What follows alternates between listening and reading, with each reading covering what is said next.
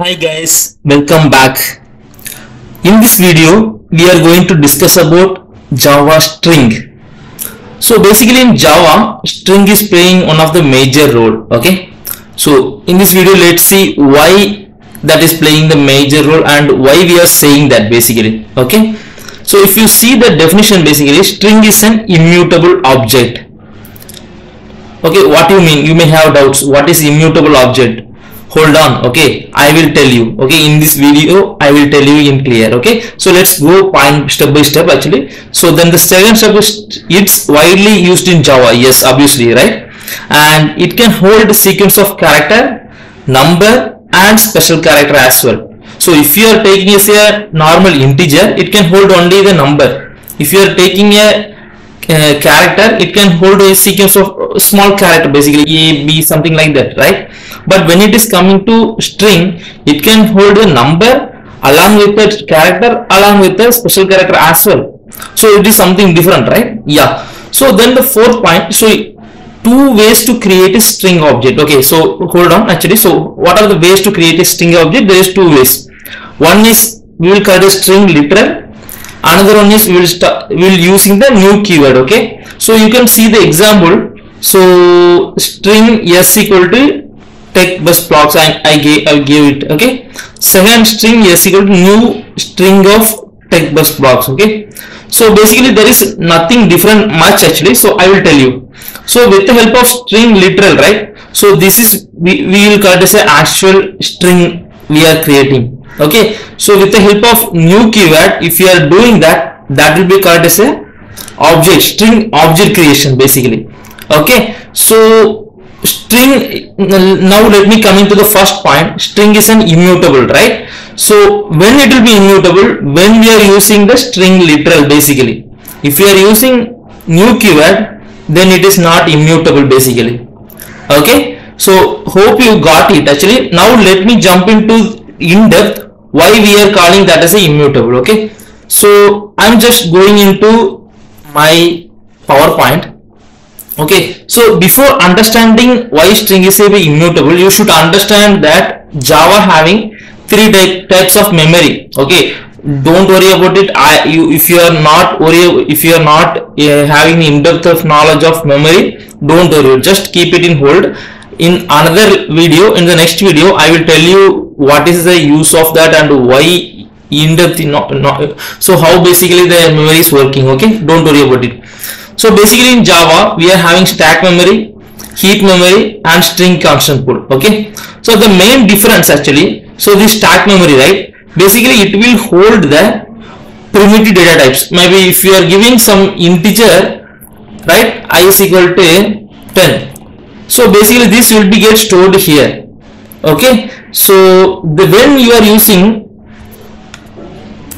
string s equal to maybe just assuming that Tech Buzz Blogs right?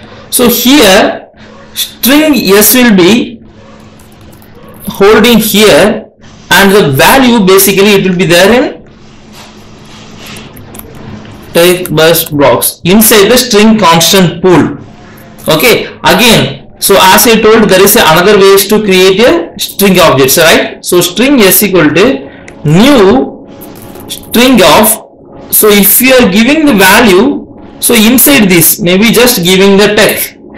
Okay? So that will be stored outside the string constant pool but inside the heap memory. So here it will be the reference will be string yes okay? So something like that okay? Then from here basically what will happen it will point it out to this constant pool and this will be pointed to this heap memory. Okay? So hope you are clear about how basically it has been pointed out right? Now let me coming into the point. Why string is immutable. That is what our question right? Okay. So if you see here in the heap memory you can hold one text okay? Again maybe just assuming that okay so just assuming that so tomorrow one more variable coming string s1 equal to new string of okay. So here as well they are giving the value as a text so what basically it will happen so here it will create one more block string s1 right?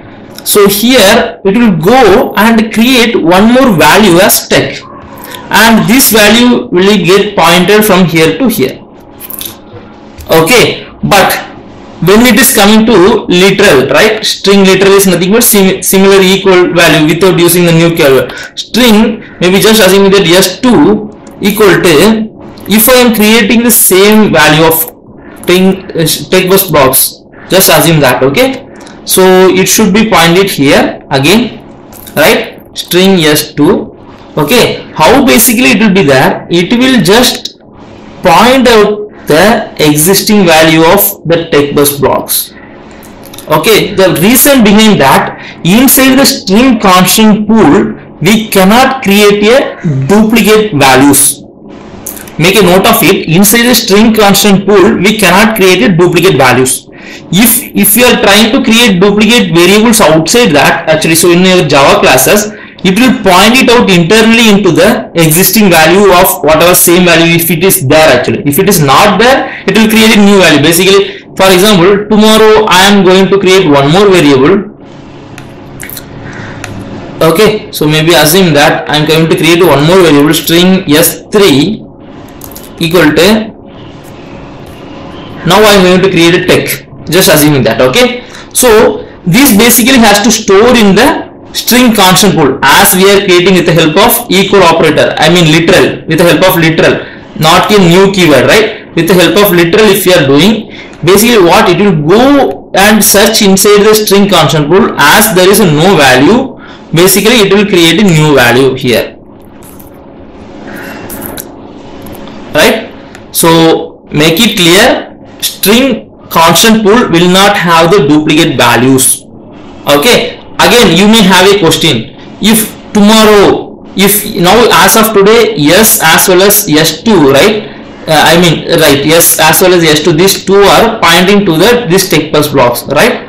Maybe tomorrow if i'm changing this yes basically this yes i'm overriding to maybe just technology what will happen okay so what it will happen so it will the pointer right? So this pointer will get removed and as this will create a new value inside the string constant pool so that is called technology.